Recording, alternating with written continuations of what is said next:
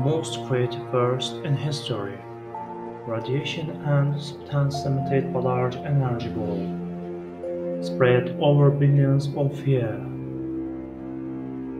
The first moment of the explosion, the existence of the universe, the first substance and its formation with energy and radiation begins.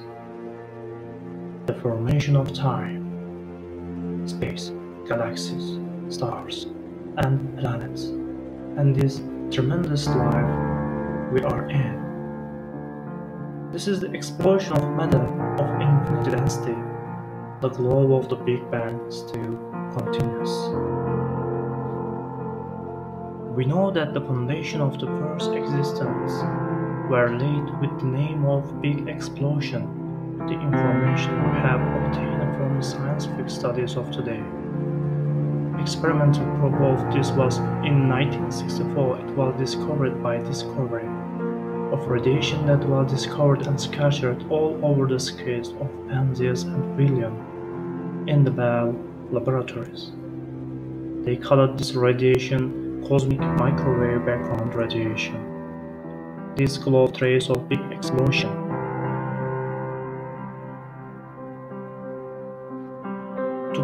The existence of the universe scientifically was not limited to these experimental studies. In the 1920, Edwin Hubble, together with his astronomer Milton Humason, began to make new investigation by looking at the spectral shift, distance, and particularly the relationship of the galaxies to the world. In their research, they argued that the redshift of galaxies and the light emissions show that the galaxies are moving away from each other.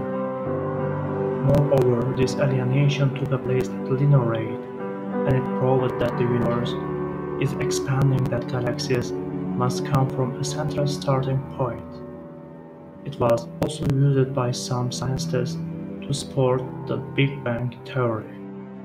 The fact of creation and its contents have been explained and emphasized in the religious book thousands of years ago. In today's modern era, we have reached this information more recently. Modern physics, mathematics, and science studies prove this. The calculation made in the Big Bang theorem showed that the universe had zero volumes and infinite density, which contained all the matter in the universe. A point with a volume of zero means absence. According to the Islamic belief, of the Quran, to him is due the primal origin of the heavens and the earth. With power and skill did we construct the firmament, for it is we who create the witness of peace.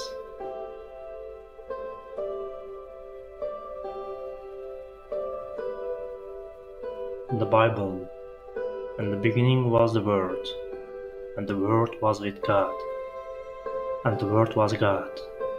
He was with God in the beginning. Through him all things were made, without him nothing was made that has been made. In him was life, and that life was the light of all mankind. The light shines in the darkness, and the darkness has not come over it. They deliberately ignored the fact that the heavens existed, while the world was formed out of the water and through but by word of God. The Torah says, In the beginning God created the heavens and the earth. Now the earth was formless and empty, darkness was over the surface of the deep, and the Spirit of God was hovering over the waters. And God said, Let there be light, and there was light. God saw the light, light was good, and he separated the light from the darkness.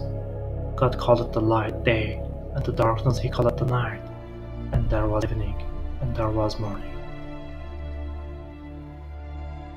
The Big Bang is in the world of faith a lot of books are also embodied.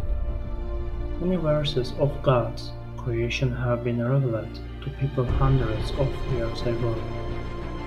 However, the human being who was newly acquainted with science and development has just discovered the creation even under the leadership of scientific studies. As we know, we know an infinite universe model, which is revealed by science, the universe model that expands with the Big Bang. So, what's outside the dark universe? What caused the Big Bang? As we mentioned in the first of the first, the beginning of video. How did the design of orderly existence from nothingness to darkness come about? How realistic and the multi-universe model climb. Are we limited to our own? Are there new universes beyond this end? are there universe models before the Big Bang? Did our universe come to life with the energy of another universe? There are many questions waiting to be answered. We will find answers to these questions in the scientific ways. Don't forget to subscribe to the channel and like the video. Thanks for watching.